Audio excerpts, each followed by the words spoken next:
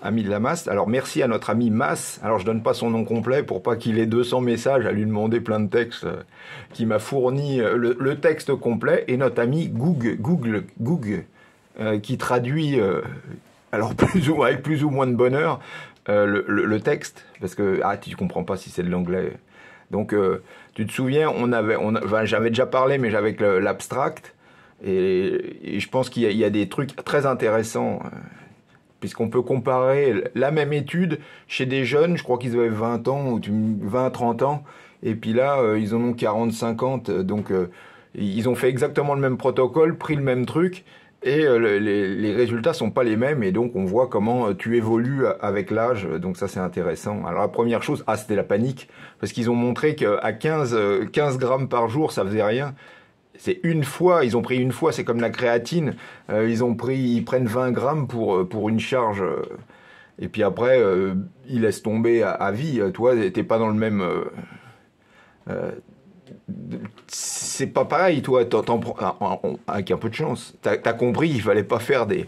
Ah moi, je, fais des, des, des cycles, j'en prends trois jours, j'arrête six mois, comme mon entraînement toi, t'en prends tout le temps, donc t'étais pas dans les mêmes euh, dosages, mais c'est quand même pour montrer que euh, il y a une dose, et là on le voit encore plus, euh, dose réponse qui est encore plus importante, qui monte avec l'âge. Et pareil, n'oublie pas que si t'as 20 ans, c'est pas la peine de prendre du collagène. J'avais déjà vu et j'en reparlerai dans le prochain livre, alors pas celui qui va sortir, mais l'autre. Ah non, je crois que je sais plus. je sais, je crois que si, c'est dans le prochain que ta, fabrication des tissus de collagène euh, se casse la gueule euh, à partir de 10 ans, 15 ans. Donc, euh, elle reste forte, mais elle s'est déjà cassé la gueule. Donc, il n'y a, pas cette limite. oh, si t'as pas 50 ans, ça sert à rien. Ouh, non, ça sert à rien. Donc là, ce qui va être intéressant, c'est justement de, comparer selon ton âge avec le même protocole, le même tout. tu verras, bah, ça part en couille. Hein. Je vais pas, vais pas je vais pas, tu peux t'arrêter là, euh, ça part en couille. Mais la supplémentation est d'autant plus importante que ta physiologie part en couille, c'est ce que ça va montrer. Alors évidemment, tu peux te dire, oh c'est des méchants, les, vendeurs de collagène, c'est des méchants. Et le diplômé qui connaît rien sur le collagène et qui parle et qui dit que ça marche pas, euh, c'est un gentil. Alors évidemment, si tu vois la vie comme ça, elle ne va pas plus loin, tu vas être déçu. La supplémentation en collagène hydrolysé avant l'exercice de résistance augmente la synthèse de collagène selon une relation dose dépendante chez des hommes d'âge moyen, alors d'âge mûr, après c'est juste un... si tu as 80 ans, tu vas les trouver jeunes, mais donc c'est juste... Euh, mieux vaut prendre l'âge factuel. Euh, entraîné en résistance, et l'âge factuel, je crois que c'est dans les 40 ans de mémoire, la moyenne. 49, euh, 50, donc en gros 50, euh, plus ou moins 8 ans, donc il y en a qui ont 8 ans de moins et d'autres 8 ans de plus, en gros. Mais ils, sont massifs.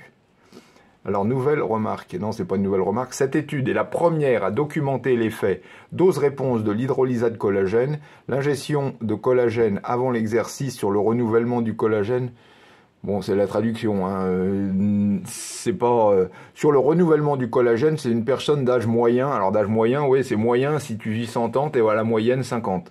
Entraîné en résistance. Euh, étonnamment. Et donc c'est là. et alors, tu te souviens chez les jeunes, la, comment la musculation a augmenté la synthèse du collagène. Et là, étonnamment, à 50 ans, euh, la musculation n'a pas augmenté la synthèse du collagène, ce qui suggère une résistance anabolique du tissu conjonctif, mais l'ingestion de 15 grammes a sauvé la réponse de synthèse du collagène, et quand en 30 grammes, ça a encore augmenté cette réponse. Incroyable. Aïe, aïe, aïe, aïe. Ah, les nouvelles études, c'est incroyable. Ces résultats ont été associés à l'augmentation de la biodisponibilité, donc ils sont en relation. Euh, la, la, sauvegarde de la réponse anabolique au collagène est liée à la biodisponibilité des acides aminés du collagène dans le sang. Tu sais très bien que ces acides aminés ne sont pas assimilés. Le diplômé et le mec à la télé, ils l'ont dit, qui stimulent la synthèse du collagène.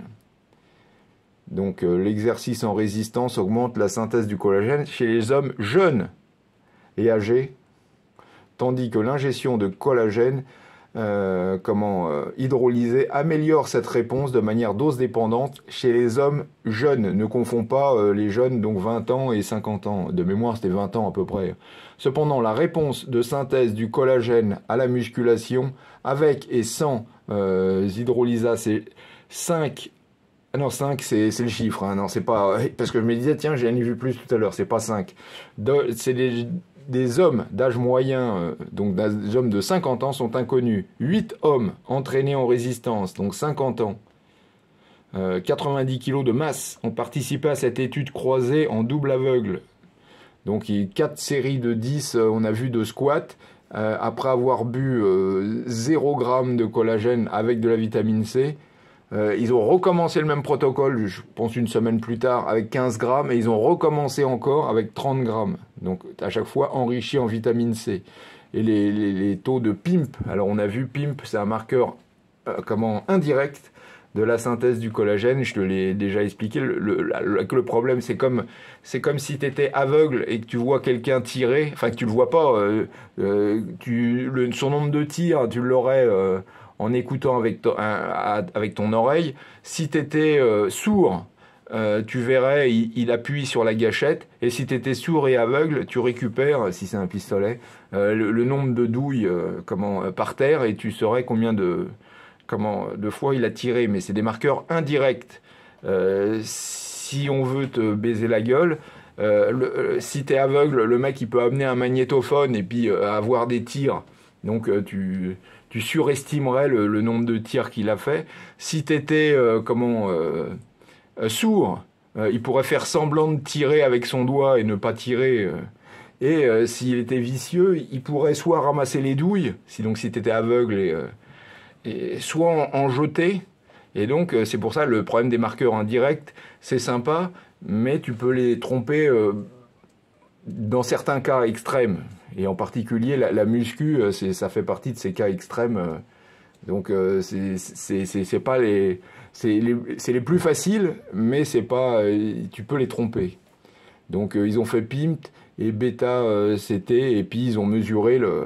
Puisque les, acides aminés du collagène ne sont pas assimilables, bah, ils, les ont, ils ont quand même vérifié pour vérifier que le. Que, le diplômé ne racontait pas n'importe quoi. Parce que je t'ai dit, vive le diplôme à points. Plus tu racontes n'importe quoi, plus tu perds des points. Et tu perds ton diplôme. Et t'as pas le droit de le repasser parce que ça veut dire que tu es, vraiment très très con. Euh, donc, euh, euh, donc tu le perds à vie, quoi. La concentration donc de donc des acides aminés incroyable. Euh, donc le, taux d'élévation totale des acides aminés dans le sang euh, après 30 grammes de, collagène était plus élevé qu'après 15 grammes. Mais tu, te dis, mais, mais jamais tu aurais imaginé un truc comme ça. Euh. Donc ils en retrouvent 180, 169 microgrammes par millilitre avec 30 grammes et 134 seulement. Alors évidemment, normalement, tu en trouverais deux fois, ça fait 268. Donc tu vois, c'est euh, pas euh, linéaire comme augmentation, il y a de la perte. 15 grammes, 134, euh, donc, et était supérieur à 0 grammes. Tu vois, naturellement, tu n'aurais que 96. Donc t'as pas doublé, mais quand même. 9 et 9, 18, t'as presque, presque, pas tout à fait, hein, je ne me fais pas dire ce que j'ai pas dit, avec 30 grammes. Donc le, le la muscu, avec 0 g de, collagène, n'a montré aucun changement dans le sérum de PIM. Ça veut dire que t'as beau t'entraîner, euh, tes tendons, euh, tout ton, tes tissus de collagène, ils te font un beau doigt d'honneur en disant « va te faire mettre, bonhomme ». Donc euh, pour la glycine, les niveaux de glycine, proline, hydroxyproline, analine, arginine, lysine, sérine, machin, ont été plus élevés. Incroyable, incroyable. Il y a plus d'acide aminé dans le sang quand tu prends 30 grammes de collagène que quand en as pris 15. Et il y en a encore plus, euh, comment... Euh, enfin, il y en a toujours plus quand on as pris 15 par rapport à zéro. C'est des trucs, mais je ne sais pas si je vais dormir cette nuit. Donc le taux plasmatique de bêta-CTX a diminué après donc on a dit ça c'était le, catabolisme du, des tendons, enfin du, tissu euh, de la matrice extracellulaire, donc qui diminue euh, comment après la muscu quel que soit le que, tu aies pris du, collagène ou non. Notre étude suggère que le tissu conjonctif est anabolisant résistance enfin non, comment subit une résistance à, l'anabolisme chez les hommes comment de d'environ 50 ans mais c'est sauve comment d'avoir pris 15 grammes, ça sauve la, synthèse du collagène. Ça répond en, partie euh, aux gens, même qui ont 20 ans, et qui disent est-ce que 15 euh, grammes euh, c'est toujours mieux que 30 grammes? Je pense que oui, si tu le prends sur la longue durée. Et 30 grammes augmente encore plus cette réponse. Cette réponse dose dépendante est associée à l'augmentation, elle est donc elle est parallèle à l'augmentation de la biodisponibilité des, ou de la disponibilité des acides aminés, enfin la montée en fait des, des acides, elle est parallèle en fait avec euh, la montée des acides aminés du collagène quand as pris le collagène qui stimule la synthèse du collagène. Alors, oh, pareil, c'est incroyable, incroyable euh, ce que, ces, révélations sont euh, à, à casser ta télévision. Les blessures constituent une préoccupation. Tu parles majeur pour les athlètes à tout âge. Elle est très drôle. Petit poussin, il est incassable. Donc euh, non, euh, la, première phrase déjà, avec le taux de blessure au tissu de collagène, euh, car les muscles, les ligaments, les tendons sont similaires chez les hommes jeunes d'âge moyen. Bon, je ne sais pas ce que ça veut dire, mais j'aurais dû garder le texte. L'exercice est une méthode sûre et efficace pour réduire, alors pour réduire ou pour l'augmenter, ça dépend les risques de blessures au tendon. Par exemple, l'entraînement en force chronique à haute intensité provoque une rupture du tendon. Euh... Oh, la traduction, euh, gogle, gogle c'est pas encore au point. Euh, réduire. Enfin, on en a parlé. Euh, donc, l'entraînement. En fait, j'essaie de te le refaire et euh, abaisse le risque de rupture de, comment, du tendon euh, en augmentant les capacités euh, mécaniques, la rigidité, aïe aïe aïe, la rigidité du tendon, sa morphologie, sa taille et ses propriétés mécaniques, sa qualité en fait, qui devrait entraîner une réduction du stress tissulaire, donc du stress du tendon, pendant que tu t'entraînes ou pendant que tu fais ton sport. De plus, l'augmentation de la rigidité du tendon peut améliorer la, propagation de la force, ce qui devrait améliorer les performances athlétiques en permettant la transmission de la force depuis l'os, depuis le muscle à l'os de, manière plus efficace. Le changement de rigidité du tendon induit par la musculation peut s'expliquer par une augmentation donc de la taille du tendon, une augmentation de la densité des fibrilles de collagène, toujours euh, quantitatif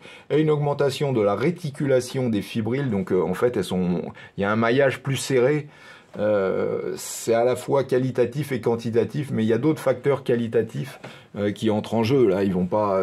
Il faudrait tout un livre pour expliquer. Donc, pour les deux premiers de ces facteurs, se produit une augmentation. Donc, ils ont besoin de plus d'augmentation de la synthèse du collagène. Une augmentation de la synthèse du collagène est probablement nécessaire pour que la teneur en collagène du tendon augmente. Donc euh, il y a besoin d'un phénomène anabolique. Le poids sec du tendon est 60-85% de collagène de type 1, mesurant, euh, on a dit le, le pimp, là il est... C'est comme, euh, comme quand tu tires un coup, il y a, y a la douille qui s'éjecte. C'est ça, pimp.